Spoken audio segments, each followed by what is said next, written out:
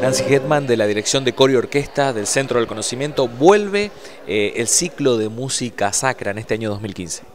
Sí, este es el tercer año ya que hacemos este ciclo en la catedral y bueno, en principio se vuelve sobre un repertorio em, extremadamente interesante porque es una, síntesis de compositores más bien del siglo XX, así que se aborda un repertorio de música sacra con un lenguaje interesante, nuevo, rico en armonía, recursos estilísticos también.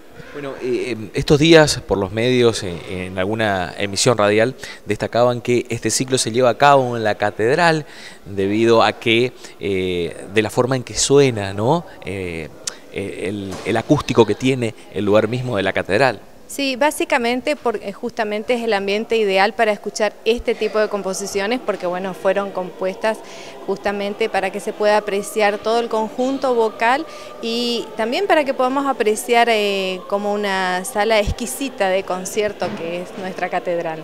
Bueno, por este ciclo han pasado muchos coros, eh, también eh, eh, alguna vez invitados y otros como el coro que, dirige el maestro Rochol. en esta oportunidad será el coro estable. está bueno repetir e invitar con día y horario para que la gente lo tenga en claro. Sí, la actuación entonces del coro estable con este ciclo de música sacra en la catedral el domingo 17 de mayo a las 21 horas. La entrada es libre y gratuita.